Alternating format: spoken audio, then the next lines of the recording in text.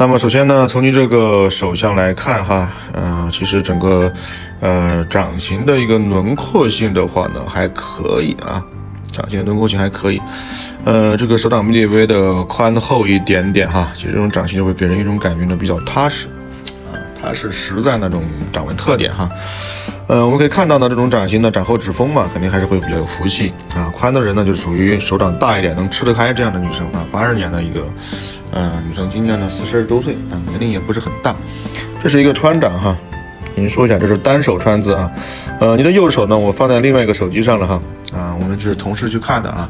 这个呢是以右手为主，左手为辅的这样的一个特点哈。然后我们还是来先说纹路吧，先说纹路哈。川字掌呢，它是一个特点呢，你要先清楚啊，它是利事业呢，不利于感情的这样的一个特点，呃，在事业这个能力上属于非常不错啊，但是呢，它是非常不利于婚姻的。那么我们先看不利于婚姻这一点哈，因为这个东西呢，它有很大的一个弊端，这是你的感情线，好吧？这个是为开始，这个为结束啊，这里呢是你的一些婚姻线啊，婚姻线是属于两条啊，婚姻线数量两条的话，也就代表着婚姻的稳定性是会比较差了。好吧，是会比较差了。这里呢，一二三啊，这里是再婚纹。再婚纹的意思就是说呢，这个婚姻嘛，有很容易有很大的一个动荡性呢，有啊变动性的这样一个情况呢，是会出现的啊，还是属于这样一个逻辑。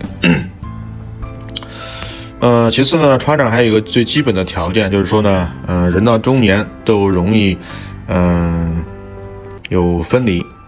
有感情和婚姻这方面的一些分离容易出现的，那么这个导纹其实自己能看得清楚，非常的清晰的明显在无名指正下方，而且你的左右手都是，左手的话也是这样子啊，左手也是这样子。那么所以说呢，两个手呢指引同一个问题，那么这个问题会发生的概率就极高了，因为这个时间段比较尴尬，无名指正下方是属于四十多岁左右，好吧，四十多岁左右，从这个位置开始的话就已经是四十岁了。啊，这里是三十五六岁左右，之前的话已经有过一些，嗯，像是一些埋下的一些种子是一样的，已经有过一些动荡了。其实后半段还依然是出现的。那么我们讲双手的这个反馈过于明显，再加上您沾的这个特殊的格局，所以说呢，你的婚姻呢，单论您个人而言呢，是有很大的一个离婚的风险性的，对吧？这是一个要离婚的手。嗯，如何去避免和调整？首先第一呢。他必须要看一下你的另一半，他的一个命格跟您呢是否能合在一块儿。这个命格又属于八字命格，不是手相，手相是不合婚的啊，不看正面信息。嗯，把这个坎一旦呢就给他渡过去了，其实后续会可以看到干干净净、完完整整，对吧？证明后续是可以得以稳定的。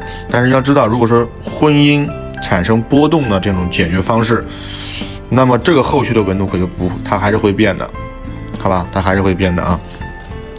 就说婚姻出现问题，绝对不能是以离婚或者说分开去解决这个问题啊！肯定双方呢共度这个难关啊！适当的两个人都冷静冷静。导纹越明显，其实我们说了，导纹越明显越清晰，它代表这个分离的这个几率就是接近于百分百，好吧？所以你得抓紧去调整，到这没因为是没有办法，因为川长属于特殊格局啊。特殊格局就是特别容易走这么一遭。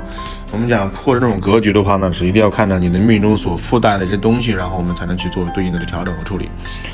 因为缘分呢，它是两个人事情啊，它不比财运和事业，好吧？这个您自行参考一下。生肖属狗的话呢，不能配属龙啊，属于生肖六冲。您可以配呢属虎、属马还有属兔子这三个生肖是为三合六合婚啊，是很好的一个婚姻搭配，好吧？自己可以记一下，生肖只是作为合婚的一个基础条件，它是可以供我们参考的啊。然后呢，说到事业和财运啊，这就是你的强项了。嗯，像这一些我们讲到一些轻微的一些小变化啊，其实我们讲可以很好的给它躲过去了，你知道吧？嗯，先这是你的事业线，我先给你画出来，你知知晓一下啊，在该该在哪个位置哈？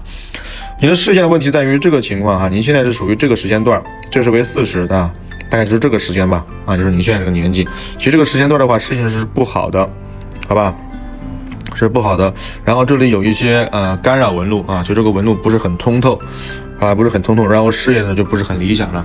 其实呢，你今年比较容易犯小人，那么犯小人的话呢，是肯定会容易推，呃，对于这个，呃，事业嘛，容易造成一些，呃，冲击呢和影响这样子。所以说，凡事做事情呢，小心谨慎，好吧？小心谨慎。今年是太岁年，叫冲太岁啊，避免与人发生冲突和矛盾，好吧？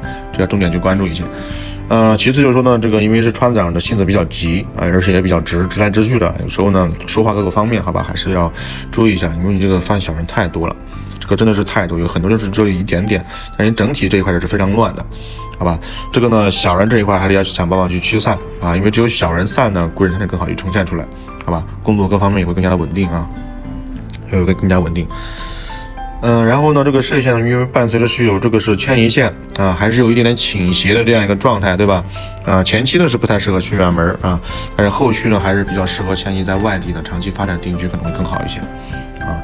它其实这个东西吧，呃，反馈的就是什么呢？